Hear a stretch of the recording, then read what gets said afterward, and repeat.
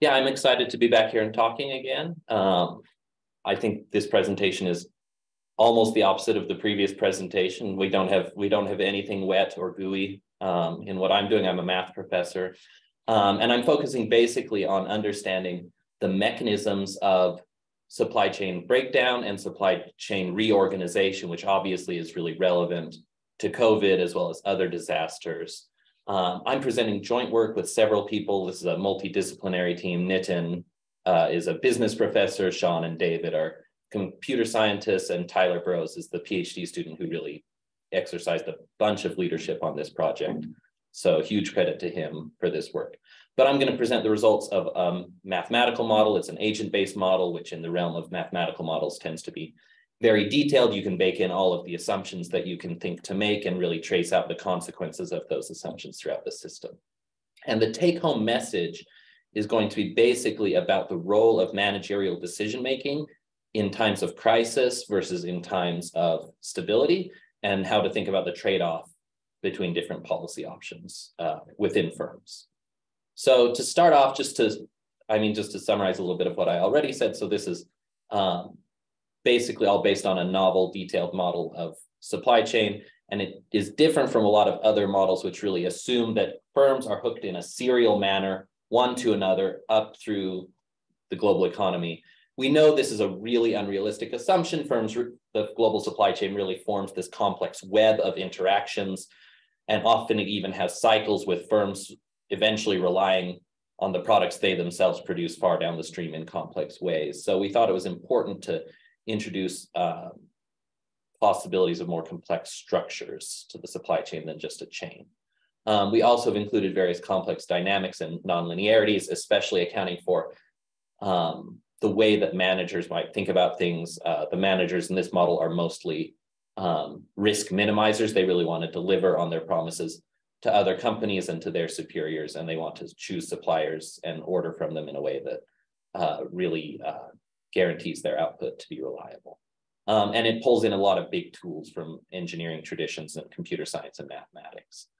Um, and yeah, so some of the big themes you're going to see in the next few minutes is the relationship between the structure of the relationship between firms and the behavior of those firms, and especially the role of policy.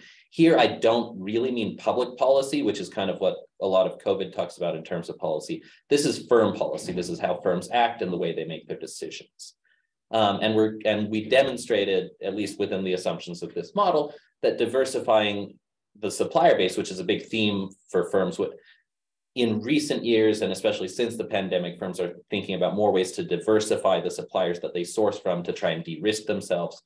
But we've we've shown that there are both risk reducing and risk increasing effects to these decisions that firm makes, and that the policies firms choose can uh, affect this outcome.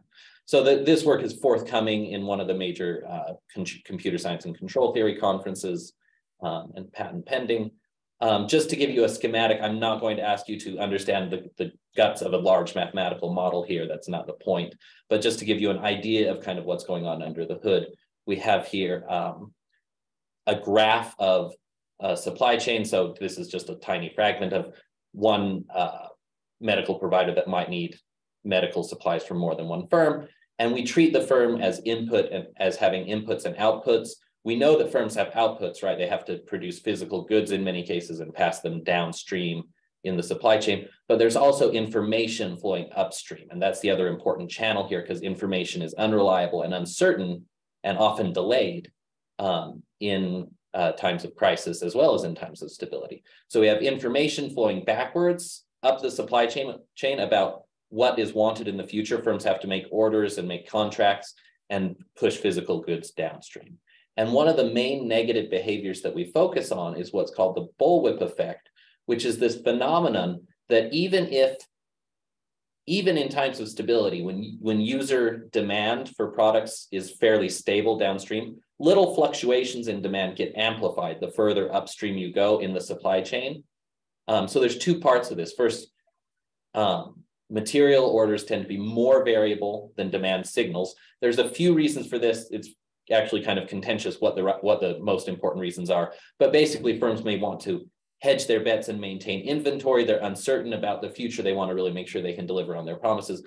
But then when, you know, the second firm in line has to hedge on their bet, then the second firm has to hedge on that hedged bet and it goes upstream and, and kind of gets worse and worse. The uncertainty magnifies. And this can be really disruptive. This is why, I mean, I've, I've certainly heard people say that semiconductors are like this, where it can be very feast or famine when, when you anticipate that there will be a need, then production has to ramp up like crazy, but then overproduction can sometimes happen and it's, it's just really disastrous. So we're kind of, in, we're investigating the role of policy in this context. So um, there's two, and, and really managerial control and adaptability. So the, the main thing I'm going to show you in this presentation is whether the manager takes the stance of being very flexible about who they order from in times of uncertainty or whether they just continue business as usual. And of course, there's a whole spectrum of how adaptive people can be. But um, basically, we, we pin down that in times of um, stability, managers who you know fit the assumptions that, that we've integrated from the literature here basically tend to make matters worse um, in terms of the bullwhip effect by over adapting to noise coming from downstream that they actually interpret as signal. But as I'll show you in a coming slide, in times of crisis, the picture is really different. But basically, for, for the purposes of this presentation, we're thinking of two policies. One, where a firm has, say, four different suppliers of a critical ingredient, and they just maybe due to long-term contractual requirements or company policies or just um, you know managerial decision making they always source the same proportion of what they need from all their suppliers and hope that their suppliers come through. Whereas on the right if you if you have a lot more managerial liberty or you believe that you might be entering a time of crisis then there's this variable ordering policy where the manager has to use past behavior and and and forecasts of the future to guess which of their suppliers are going to come through for them and how much they're going to come through and adapt their orders in such a way as to try to guarantee that they're going to be able to be able to li- be able to deliver on their own promises downstream from themselves.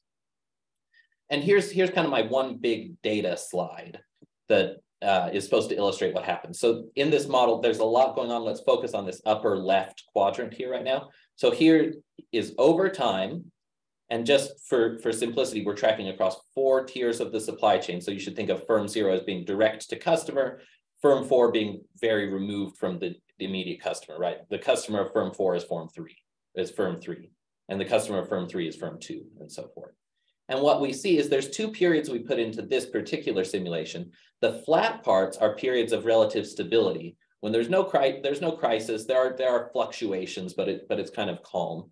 Um, and then there are these periods of shock. So in this slide, we, we included a, a, a demand shock where suddenly it's it either in reality or in perception, a lot of what firm zero produces is needed. You can imagine this to be masking equipment, res respirators, toilet paper, whatever you think is you know important in times of a pandemic.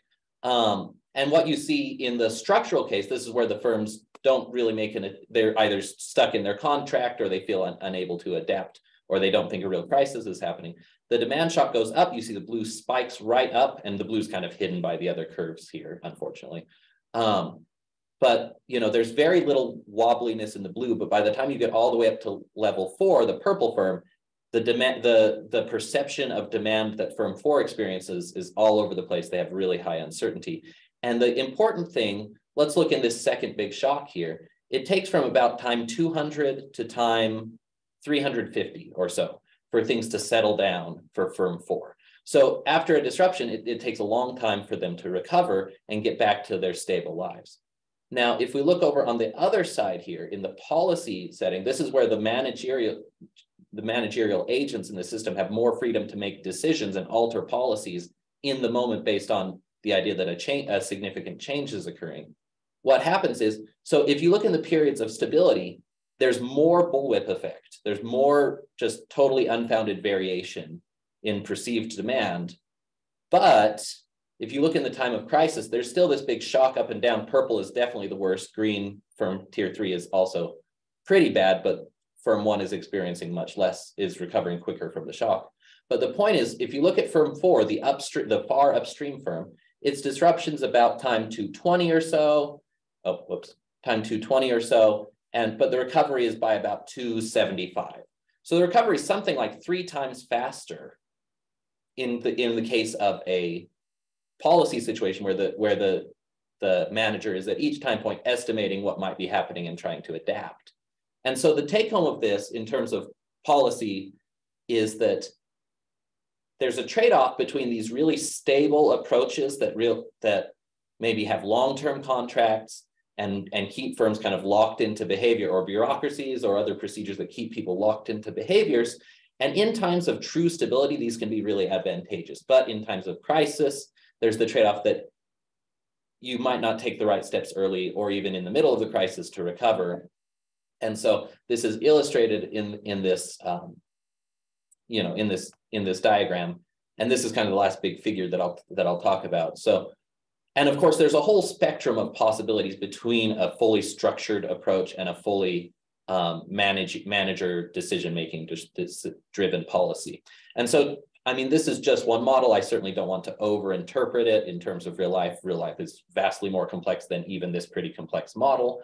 Um, but this this trade-off between um, you know systems that lock managers in so they don't over-interpret problems that are not real problems and the ability to react when an actual problem occurs without without having to be too slow in their response time is kind of the take home message uh, for non-math people from this model. Um, anyway, that's all. I'm happy to answer questions more. I'm aware I've taken up uh, my time, but full credit to, to Tyler for exercising big leadership on this project. And I'm happy to be contacted by others who have questions uh, kind of more at the PI level as well. So thank you.